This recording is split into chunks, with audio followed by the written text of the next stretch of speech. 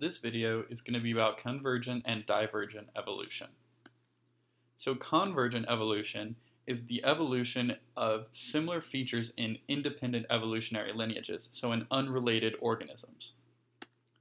So analogous refers to characteristics that are similar because of convergent evolution, not homology. So if you remember from the video on homology, um, homologous structures are going to be structures that are similar because of uh, shared ancestry, whereas analogous structures are going to be structures that are similar because of convergent evolution and not shared ancestry.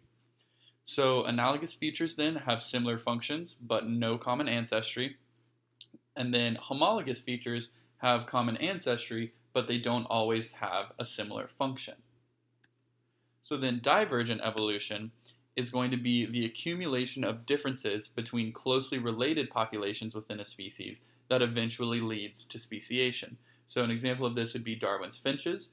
So originally, all of these finches belonged to the same species, but over time, we had the accumulation and differences in uh, beak based on the kinds of seeds that they were able to have access to, and that eventually led to the creation of different species of finch.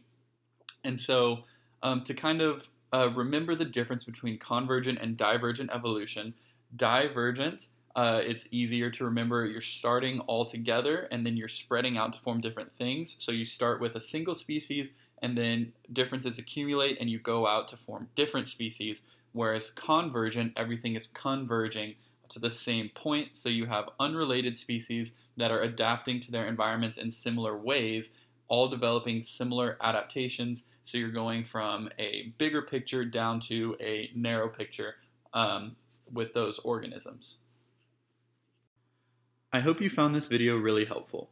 The concepts and information presented in this video will be true no matter what biology class you are taking. However, the concepts presented in this video are referencing material currently covered in Baylor University's coursework. Remember, if you are a currently enrolled Baylor student, we offer free tutoring services in our tutoring center, which is located on the first floor of the Sid Richardson building. You will find all the details you need about these services on our website, which is www.baylor.edu forward slash tutoring. You can schedule a free 30 minute one on one tutoring session online or just drop in during any of our business hours. For more information about our current services, please visit our website. Thank you.